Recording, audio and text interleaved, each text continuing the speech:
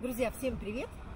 Давно у меня была такая мысль показать вам те места, небольшие ресторанчики, где мы были в Братиславе и которые оставили у нас о себе очень хорошее впечатление. Сейчас мы находимся у кафешки у Золотого Бажанта. Это каменное на месте. Находится напротив музыкальных часов которые все еще работают. И на этом месте когда-то был первый чешско-словацкий торговый дом Приор. Но идем в саму кафешку посмотрим. Несмотря на то, что мы живем в Братиславе уже почти 5 лет, эту кафешку мы обнаружили, можно сказать, только в этом году. Располагается она на втором этаже, и вход в нее довольно неприметен. Вот заходим вот ровно вот так слева. Идем.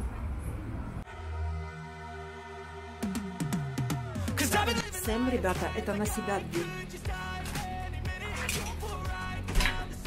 Интерьер этой кафешки довольно интересен.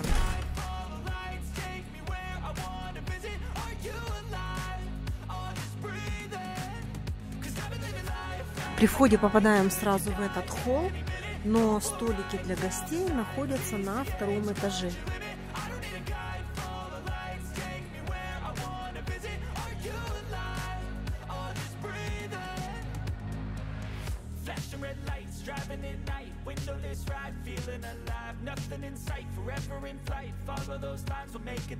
Добрый день.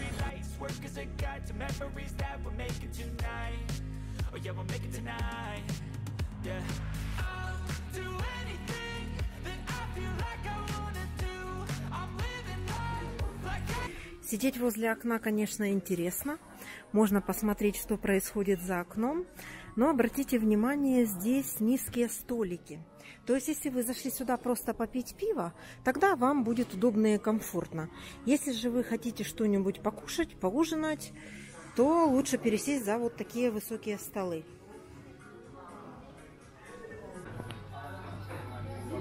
Первый раз мне приходится пробовать зеленое пиво. Оно с привкусом ментола. Интересный довольно вкус. Очень насыщенный. Наверное, таки на любителя. Неплохой, нет. Интересный, необычный. Мы сегодня здесь с друзьями и выбрали разные сорта пива, чтобы, наверное, сравнить, понять, какое больше нам понравится. У моей подруги тоже ментоловая. Александр пьет темное. Темное как? бажан. Золотый бажан. Золотый да. бажан. И вот в этом бокале у нашего оператора крушавица. Двенадцатка. Друзья, вот эта колонна для пива. Ну, лично я вижу такое первый раз. Она вмещает в себя до 5 литров пива и ставится на стол для большой компании. Краник наливают в бокалы. Нам официант, конечно, предложил вежливо поставить такое на стол, но, боюсь, мы не осилим просто. Друзья, ну вот смотрите, картошка фри, да? Казалось бы, что нового может быть в ней? А вот вырезана вот таким же лобком для того, чтобы было удобно зачерпывать, брать соус. Видите? Картошка очень вкусная, не замороженная, это чувствуется. И каждый раз, когда мы сюда приходим, мы ее обязательно заказываем. Друзья, ну вот смотрите, видите, я очень быстро переобуваюсь. Попробовала зеленое. Э, Сейчас заказала темное себе. Мне оно больше понравилось по вкусу. Ходите сюда с друзьями, пробуйте разные сорта пива и выбирайте то, что больше подходит вам. Вкусное зеленое, ничего не скажу. Но я люблю более спокойные вкусы, наверное. Ну, а наши друзья сейчас сами о себе расскажут, о своих пристрастиях. Как тебе такой вкус? Мне понравился, очень свежий такой, напоминает травяной такой вкус. Я бы даже сказала, вкус весны. Мне понравилось пиво. Александр. Ну, тьмавое пиво. Нет конкуренции. Пицца. Пиццу здесь мы уже заказывали и заказываем ее каждый раз, когда приходим сюда. Четыре сыра. Очень вкусная. Попробуйте.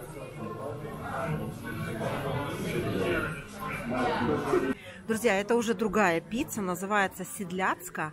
Э, стоит 6 евро и сколько-то там центов, не помню сколько. Выглядит очень интересно. Расскажу немножко позже, какая на вкус. Но запах в составе этой пиццы сало, курица, кукуруза. Кстати, для нас это довольно неожиданно. Мы не привыкшие, что подают в пицце кукурузу, вернее, она входит в ее состав, да?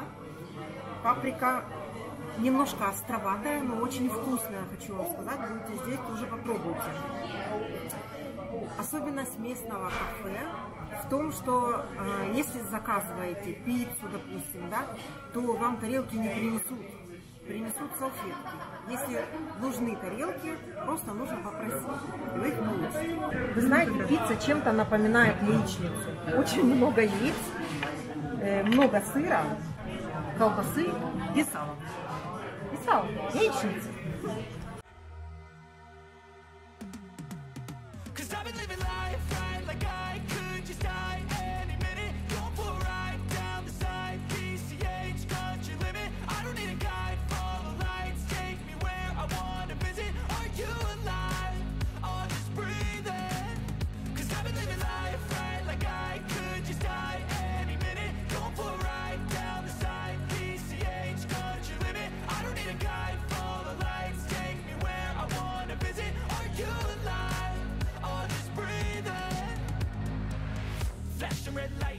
at night, windowless ride, feeling alive. Nothing in sight, forever in flight. Follow those lines, we'll make it this time. Blurry street lights, work as a guide to memories that we're making tonight. Oh yeah, we'll make it tonight. Yeah. I'll do anything